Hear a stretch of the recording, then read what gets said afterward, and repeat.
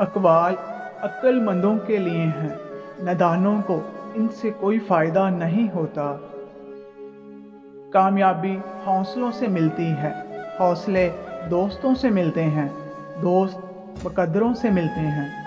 और मुकद्दर इंसान खुद बनाता है। जिससे मोहब्बत की जाए, उससे मुकाबला नहीं किया जाता।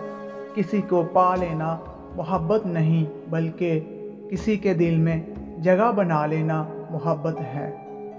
जिसे तकदीर पर भरोसा होता है, वो आने वाली मुसीबतों से नहीं घबराता। हज़रत अली रज़ी अल्लाह से पूछा गया, दुनिया का सबसे अमीर शख्स? तो हज़रत अली रज़ी अल्लाह ने फरमाया, जिसके दोस्त मुखलिस हों। दोस्त की गलती रेत पर लिखो।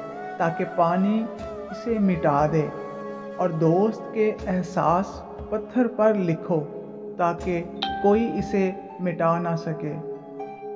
अगर उस्ताद अहल है और मुखलस भी है तो वो वली है। तुम पढ़ने से सीख सकते हो, लेकिन समझने के लिए तुम्हें मोहब्बत और सोहबत की ज़रूरत है। अगर इंसान को तकबर के बारे में अल्लाह की नाराज़गी और सज़ा का इलम हो जाए तो बंदा सिर्फ़ फ़कीरों और गरीबों से मिले और मट्टी पर बैठा करे। जो दुआ से भी नहीं मिल रहा तो समझ जाओ कि अल्लाह ने उससे बेहतर आपको अता करना है। इस सोच के साथ ज़िंदगी में आगे बढ़ो कि अल्लाह ने यकीनन बेहतरीन ही सोचा होगा। हर इंसान को किसी मकसद के लिए बनाया गया है और इस मकसद को पूरा करने की ख्वाहिश उसके दिल में डाल दी गई है।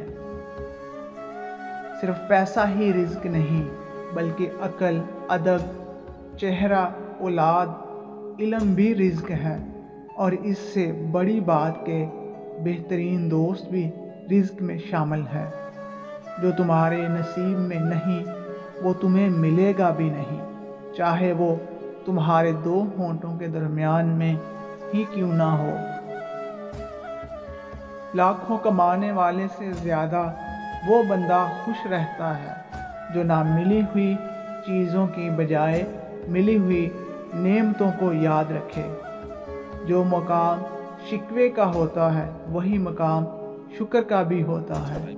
लेकिन हम उस मकाम पर शिकवा जल्दी और शुक्र देर से अदा करते हैं।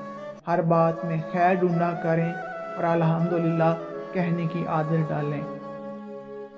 बर्दाश्त के कानों से सुनो, रहम की आँखों से देखो और मोहब्बत की ज़बान से बात करो।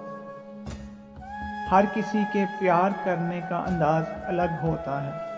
कोई जता देता है, कोई खामोश रहता है। और जो खामोश रहता है, ज़रूरी के नहीं कि वो प्यार ही नहीं करता, बल्कि ऐसे लोग आपसे ज़्यादा मोहब्बत करते हैं। अल्लाह वालों की बातें सुकून कलब अता करती हैं, और अहल ज़ाहर की बातें दिल में इंतशार और बेइतमानी पैदा करती हैं।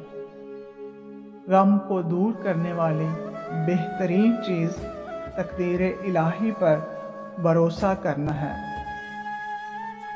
दुनिया तुम्हें उस वक्त तक नहीं हरा सकती, जब तक तुम खुद से ना हार जाओ।